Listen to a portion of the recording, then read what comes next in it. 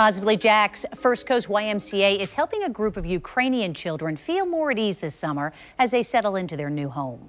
The group is holding summer camps at two of its locations to distract them from the horrors of war they escaped in their home country. News Jax reporter Ashley Harding shows us there's something that we can all do to help them feel more comfortable. Silly moments at playtime, giving way to a big smile. These are the things many of us take for granted. This small group of children are Ukrainian refugees. Because they've all been moved away from their friends, moved away from their country, moved away from everything that made them feel that they were home. Michelle Orts is a senior program director for the YMCA's New American Welcome Center. Throughout the month of July, these kids get to attend summer camp. They're able to make new friends and have a sense of belonging.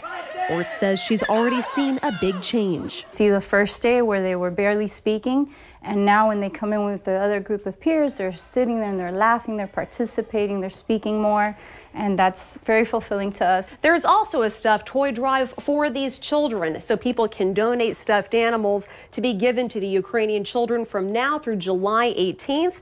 Here's the best part. It was created by an 11 year old boy. Ort says this is just the beginning. She's already thinking about what this means for the children's future here. Oh, it just fills my heart knowing that they can come here and find new friends, and that when they go to school, they might know some of these children, or they might feel more comfortable, or they might learn to speak a little bit of English. So those first days of school won't be so scary to them. Helping children who fled their homes feel at ease and welcome in their new community. From First Coast YMCA, Ashley Harding, Channel 4, the local station. So if you'd like to help them out, that stuffed toy drive goes through July 18th. You can drop the stuffed animals off at 14 of the Y's locations in the area. We've got a list of those locations on news4jax.com.